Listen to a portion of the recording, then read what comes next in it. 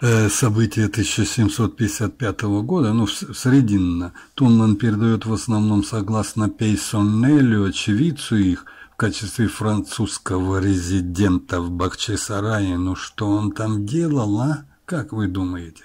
Правильнее было бы сказать, что восстание, поднятое в 1700, скорее всего, 58 году идигейскими нагайцами против Халин Гирей-хана ханствовал с 56 после Арслан-Гирея и до 78 было настолько серьезно, что заставило Порту снять его с престола и назначить по требованию нагайцев ханом снова Арслан-Гирея. Однако собрание мурс крымских и нагайских под явным влиянием восставших едесанцев избрало ханом ну, Крым-Гирея, чем османскому правительству для успокоения восставших пришлось, опять же, тоже согласиться. Крым-Гирей ханствовал до 1000 764 года. Конечно, самой же историей этих мест Тунман непосредственно связывает и с Восточным Нагаем, возможно, не без оснований. Государство Малая Тартария было-то одно, если было, и было таковым, как дошло до нас по официальной истории. Некоторые историки говорят, что еще с XIV века часть, э, так сказать, э, местных поселенцев, ну, можно их даже отнести и к монголам, и татарам, по официальной опять, было изгнано э, при великом князе Витовте и его полковец, полководцем Ольгердом, и с этого времени, мол, здесь жили литовцы и казаки. От последних земля получила название Черкасских полей. Наконец же, до начала XVI столетия их изгнали опять отсюда крымские ханы и заселили нагайскими племенами. На Днестре также поселились беглые поляки и валахи из Молдавии, но их жилища были, как потом позднее описывают частично оставлены, частично разорены. Городов тоже было, как и на востоке, немного. Упоминают тут Балту или Балда, которую взял в 1770 году Панин, Дубасари. Э, русские сожгли ее в 1769, ну и прочее, прочее. А также можно упомянуть, что здесь, возле местечка Яни, напротив Яни, Дуни, существовал Качебей у Черного моря, неподалеку от устья Днестра, ну, значительное торговое место, особенно в литовский период. Главные предметы торговли здесь были зерно и соль. Теперь даже и развалины его не осталось, пишет Тунман, как вспомним, в 70-х годах XVIII века. Считается, что это нынешняя Одесса. Ну и затем мы оказываемся от Тумана в крымской части Бессарабии или в Буджаке – Бессарабия или Буджак находится между Днестром и Дунаем, Черным морем и Молдавией. Большая ее часть, которая, собственно, называется Буджак, принадлежит со времени мирного договора 1774 года непосредственно крымскому хану. Область же Акирм, Кир, Акирмана у берега Черного моря, Кили, Исмаила, обоих на Дунаю вместе с Бендерами находится под владычеством османов. Об этих местностях и, и, да, и поселениях будет далее нам говорить Туман. И опять же, он тут нам дает частично перевенную и традиционную историю, сочиненную немцами еще задолго до Тунмана, но он ее, естественно, охотно повторяет о скифах, о языках, бастарнах, аланских народах, ну и, конечно, готских всевозможных, как говорит в 376 году пришли гунны, и все готы, не бежавшие за Дунай, должны были им покориться. Когда эти мировые завоеватели после смерти Атилы потеряли все другие свои владения, они еще удерживались некоторое время в этих местностях, которым они дали название Гульнивар, но в середине V века они должны были спасаться от вторжения венгров и булгар. Ну и такие вот разные э, басенки. Затем, конечно, появились и славяне. Хотя, как вы все знаете, надеюсь, вы не из тех, так сказать, обломных э, почитателей официальной историографии. Славяне тут были всегда, испокон веков. Историю, излагаемую Тунманом этих мест и пронесшихся по ним народов, вы можете прочитать и в учебниках официальной историографии. Так зачем нам тут Тунман? Был ли он первоисточником для некоторых авторов современности или вторил более ранним сочинителям. Это уже не важно. А вот от буджакских тартарах послушаем все-таки в его и в надежде хоть услышать хоть что-то оригинальная и правдоподобная. Буджаки живут разведением скота, овец и лошадей, земледелием, которое они ведут лучше, чем остальные нагайцы. Важным для пропитания служит им также разбой и добыча. Всего более страдают от них молдаване. Они грабят их деревни, отнимают скот и даже уводят жителей, которых потом продают в Константинополь под именем русских. Как видите, русский товар очень был ценен в Цареграде, однако молдаване платят им часто той же, той же монетой и вообще считают долгом христианина лишить Тартарина жизни. Тартарин – это не значит магометанин, заметим мы в то время. Это просто человек, который исповедует может быть, как некоторые считают, шамаистские или там ламаистские, какие угодно религии, но это человек свободный от догм, том числе и христианство. Вообще же тартары честны, добродушны, гостеприимные, мужественные, в домашнем быту, обычаях, привычках, языке и религии. Они совершенно схожи с остальными нагайцами. Заметим также, что все э, плохие сообщения, опорочивающие э, как и, и буджакских, тартар, так и вообще тартар. Скорее всего, это вторичные источники.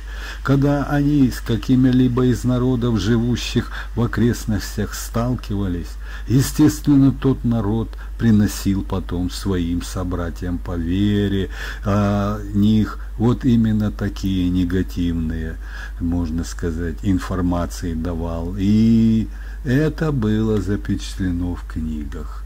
Соответственно, вы знаете, брат брату, хотя относительность братства христианских народов тоже много сомнений.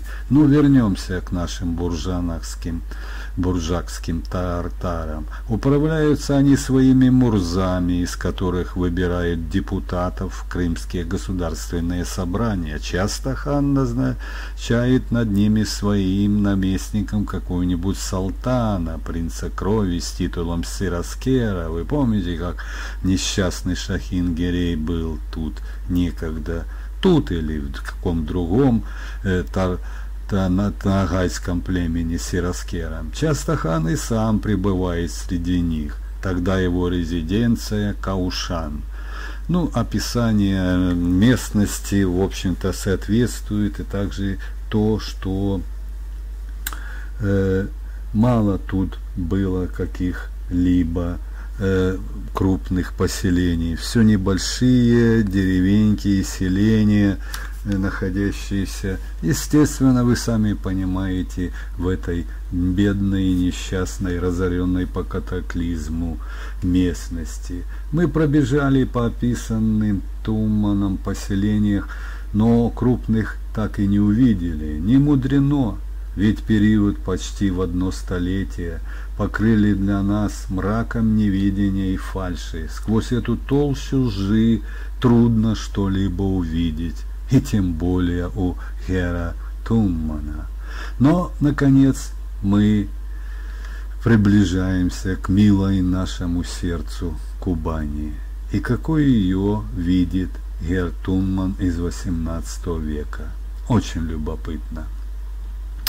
Под этим названием, пишет он, я подразумеваю не только земли, на которых живут оседла или кочуют те нагайские таратары, татары, пишет он, которых называют как кубанцами, так и черными или малыми нагайцами, но также все области черкассов и авхассов, находящиеся под властью крымского хана или переданные под его владычество. Северная граница этой значительной страны со времени заключения мира 1774 года проходит в середине между реками Чулбашем и Эем, недаром где близко Эйска, но по прямой линии до истока реки Дунгузле, впадающей в Маныч. Оттуда идет восточная граница севера на юг через горы до источников реки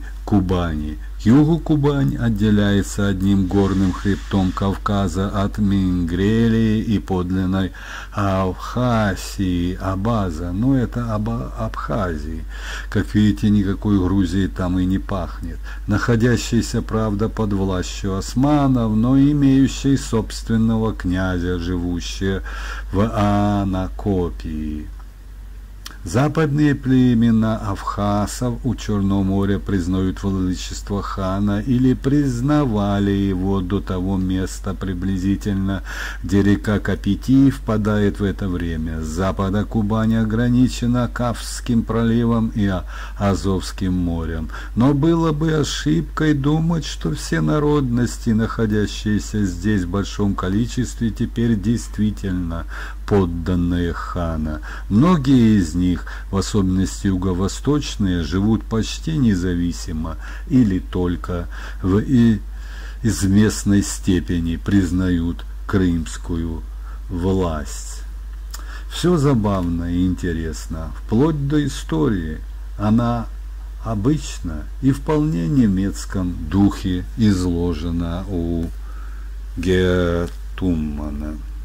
Конечно, Тумман не все это черпает все свои информации из определенных источников, например, от Иоганна Антона Гюльденштетского, жившего кстати, очень недолго, э, с 45 по 81 год 18 века известного натуралиста и врача, члена Российской Академии Наук, так называемой, исследовал по поручению Академии многие части России, между прочим, Нижнюю Волгу, Дон, Азовское побережье, три года путешествовал по Кавказу. Преждевременно умер – как сообщается, заражившись во время эпидемии, от которой самоотверженно лечил больных, не успел издать своих исследований. Они были изданы уже после его смерти академиком, знаменитым Палласом под названием ну, путешествия там по Русландии и так далее. Особенно углубленно им описан Кавказ. Правда, Кубани он не очень касался. Но таких, как э, путешественников, как он, было в то время достаточно у немцев. И Тунман охотно черпал там большой, большим паломником, скажем, эти информации.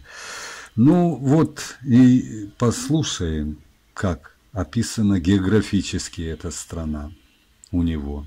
Эта страна крайне разнообразна по своему строению. Берег Азовского моря северной части низок, полон болот и мест, поросших камышом. Дальше вниз и пока Финскому проливу, как и у Черного моря, берег высок, и горист. Реки этой страны, особенно Кубань, разделяются на много разветвлений и, выступая из берегов, превращают окружающие местности в болото.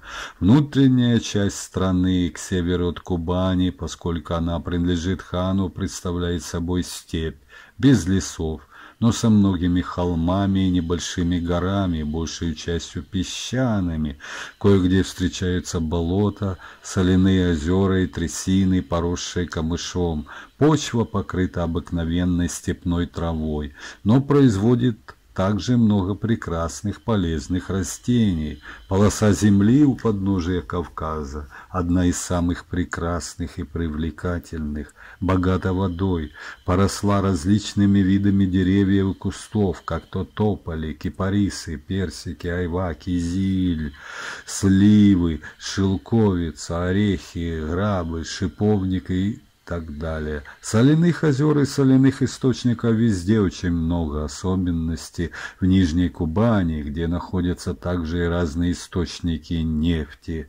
И, как видите, вот вам прямые доказательства недавней катастрофы и соляные, и нефть она образуется по новым, так сказать, выкладкам исследователей очень быстро, и не надо тут миллионы и сотни тысяч лет, как по старым утверждениям и недостоверным. Но вся естественная история этой страны могла бы быть нам вполне выяснена только каким-нибудь новым Гюльденштентом, которого мы уже упоминали. Но, как видите, большего Тунман не мог узнать о так сказать, географических особенностях края. Естественно, и он больше знает и представляет, ну еще бы, немцы вообще много чего знают. О революциях, как он пишет, история этой местности. Оригинально. Революция уже входит в обиход во всем. Революция не только в обществе, но и в науке становится любимым термином новых преобразователей – ну, вот он и описывает эту историю как э, революцию сменной, то от кемерийского на фракийские племена и так далее. Соответственно, тут и уже упоминается владычество Баспарян с архенактидами мифическими, и, так сказать, лесбийцами, происходившими оттуда, и поселившимися в Германасе, это около Тамани и так далее. Тут же и, и приплели и Спартака, который, как было известно, только Спарток не бы то э, основателем э, Боспорской династии царей Спартакидов, тоже весьма и весьма сочинительно-мифической, ну и как же без великого Митридата? А затем о сарматах, о сираках, о ланах и вплоть до черкасских и разных других племен, как тут пишет он. Сираков уже относя к ним, а позже и аорсов, которые, мол, пришли и, и которые пришли с востока и захватили всю территорию от Азовского моря до Волги. Этот народ, пишет Туман, и название теперь еще сохранилось в личи черкассов. Черкасские родственные черкассам племена мало-помалу уже до девятнадцатого года по Рождеству Христовому, как кажется, заняли. Хорошо, что он добавляет, что как кажется.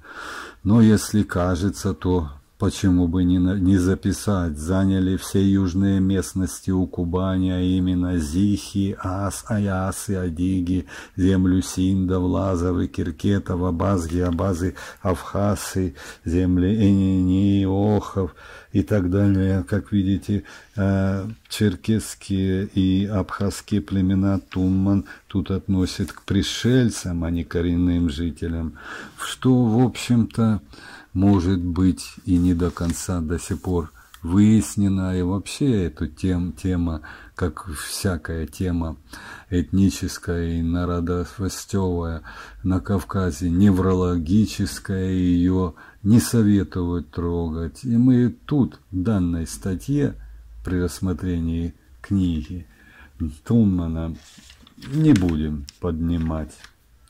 Затем пришли утигуры, угу, уйгуры, ну, не те уйгуры, а те, которых связывают с гуннами. И в историю Фунман тут описывает вплоть до каманов, половцев, затем до на, э, Мангути Мурхана и, естественно, Нагая знаменитого, который тут в этих местах пронеслись со своими ордами и задомовились, так или иначе, со временем. Они завладев и Керчью, и Крымом.